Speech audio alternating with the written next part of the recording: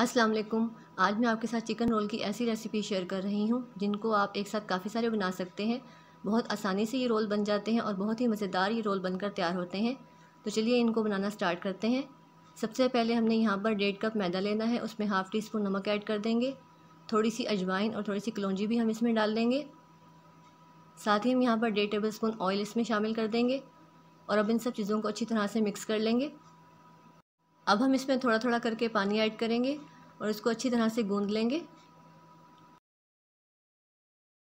अच्छी तरह से गूंद लेने के बाद अब हम इसके ऊपर थोड़ा सा ऑयल स्प्रेड करेंगे और इसको कवर करके 15 से 20 मिनट के लिए रख देंगे।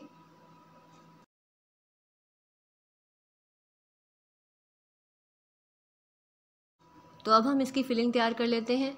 यहाँ पर हमने तीन मीडियम साइज़ के आलू लिए हैं, उनको बॉयल करके श्रेड कर लिया है।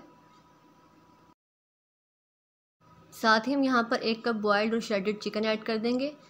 अब हम इसमें वन टीस्पून नमक, एक table spoon chili flakes half tea spoon ज़ीरा पाउडर वन टीस्पून धनिया पाउडर और वन टीस्पून चाट मसाला इसमें ऐड कर देंगे। यहाँ पर हमने थोड़ी सी हरी मिर्चें और लाल मिर्चें इसमें ऐड की हैं। बारीक चॉप करके हमने इसको इसमें डाल दिया है और हाफ़ कप के करीब हरा धनिया हम इसमें ऐड कर देंगे। अब इन सब चीज़ों को अच्छी तरह से मिला लेंगे।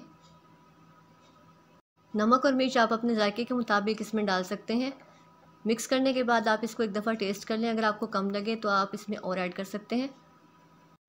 यहाँ पर 20 मिनट हो चुके हैं। डो हमारी अच्छी तरीके से सेट हो चुकी है। अब हम इसको हल्का सा नीट कर लेंगे। ये देखें कितनी सॉफ्ट हमारी डो बनकर रेडी हुई है। अब हम इसको दो हिस्सों में डिवाइड कर लेंगे। अब हम इसके एक हिस्से को उठा लेंगे और काउंटर पर थोड़ा सा मैदा डस्ट करेंगे। और इस तरह से इसको पेड़ा बना लेंगे।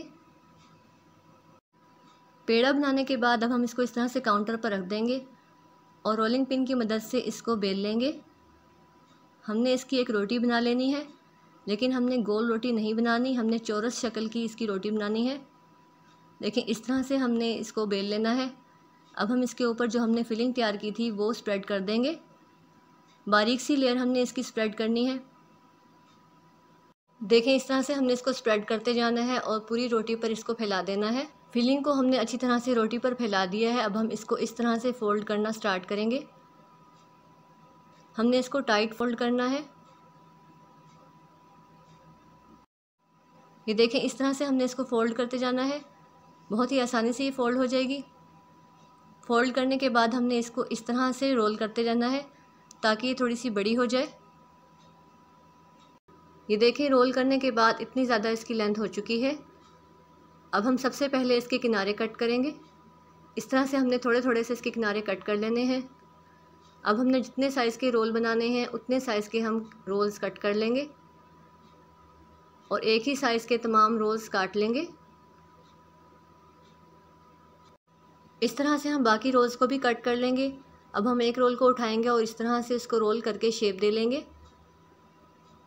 बाकी रोल्स को भी इसी तरह से हम शेप दे लेंगे और इनको साइड पर रख देंगे।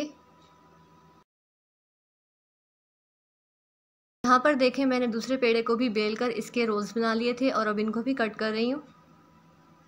अब हम इन सारे रोल्स को एक साइड पर रख देंगे। अब हमने तीन टेबल स्पून मैदा लेना है और इसमें थोड़ा सा पानी ऐड करके इसका इस तरह से पेस्ट बना लेना है।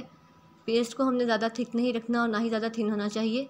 देखिए इस तरह से इसकी कंसिस्टेंसी होनी चाहिए।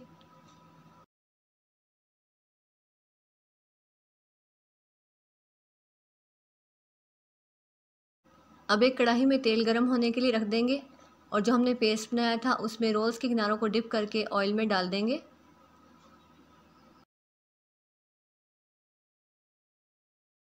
ये देखें, इस तरह से हमने तमाम रोल्स के किनारों को पेस्ट में डिप करके ऑयल में डाल देना है और इनको मीडियम टू लो फ्लेम पर फ्राई कर लेना है ताकि ये अच्छी तरह से अंदर तक पक जाएँ।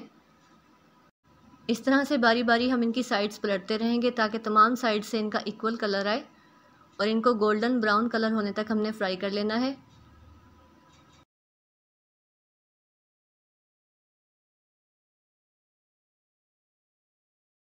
यहाँ पर देखें, इनका अच्छा सा कलर आ चुका है, अब हम इनको निकाल लेंगे। तो लीजिए, हमारे बहुत ही यूनिक से और बहुत ही मज़ेदार चिकन रोल्स बनकर रेडी हैं।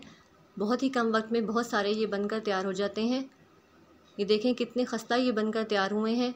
और बहुत ही मज़ेदार ये रोल्स बनते हैं। आपने इस रेसिपी को ज़रूर ट्राई करना है और मुझे कमेंट करके बताना है कि आपको ये रेसिपी कैसी लगी। रेसिपी पसंद आई हो तो वीडियो को लाइक और शेयर ज़रूर कीजिएगा और चैनल पर नए हो तो चैनल को सब्सक्राइब भी ज़रूर कीजिएगा। अल्लाह हाफिज़।